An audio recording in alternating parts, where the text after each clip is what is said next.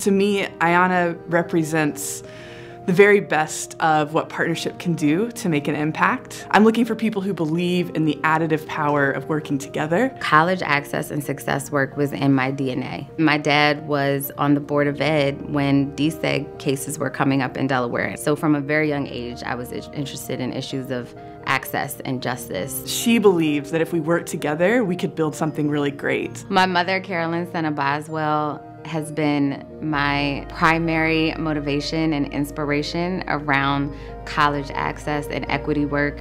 She worked for 40 years in Philadelphia, ensuring young people had access to post secondary, to college, that they had the financial aid support that they needed, that they had all of the supports in order to get into college and to successfully graduate. So I saw the importance of these programs and supplementing what many of our young people were not getting. Graduating from college, I started as the college retention specialist for the Harlem Children's Zone's College Success Office. They found that they were sending many kids to college, but they weren't graduating. So I was developing retention programs for students, and I was looking at these issues at a macro level. And so I decided to go to law school to think about education policy. After working in law in traditional firms for a couple years, I knew I wanted to get back into education.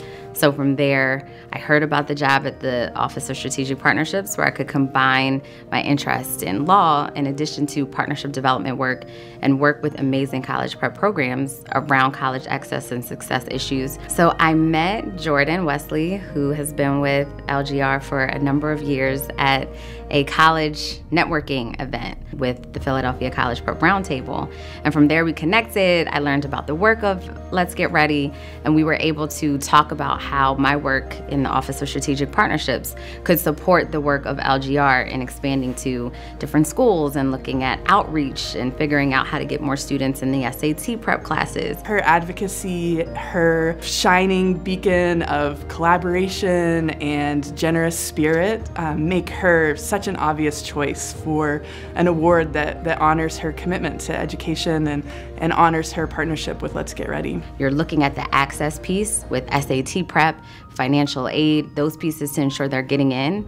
But the success piece is critical. Having a coach that's going to be with you through the transition to college and then stay with you until you graduate is essential. They've also had a virtual model for a very long time before we even knew it was going to be so vital coming out of the pandemic. I believe so deeply in LGR and the work that LGR does based on my experience.